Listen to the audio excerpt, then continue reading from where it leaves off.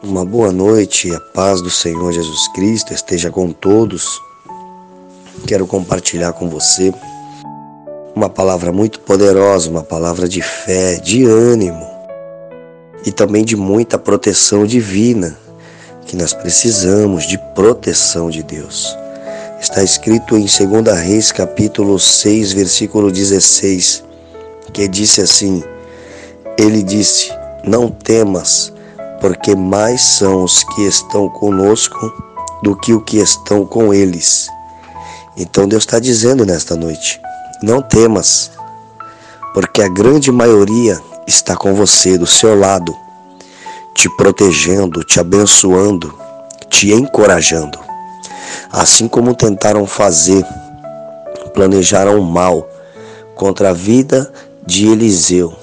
Durante aquela noite cercaram a cidade planejaram contra a vida dele. Mas a Bíblia diz que ele encorajou o seu moço e disse: Não temas, porque maior é o que está conosco do que o que está lá fora nos cercando.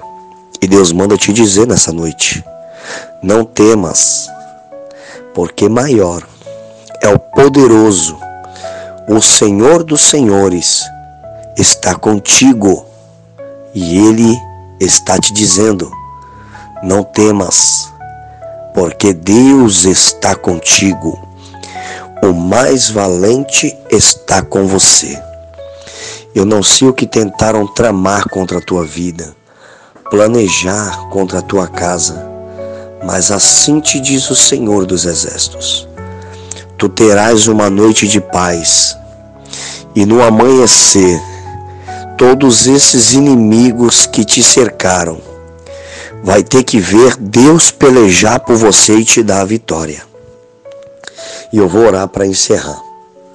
Senhor meu Deus e meu Pai, no nome do teu filho amado Jesus Cristo, nós sabemos que quando tu estás conosco, nós se tornamos maioria, ainda que nós somos pequenos, ainda que as pessoas não dão a mínima para nós.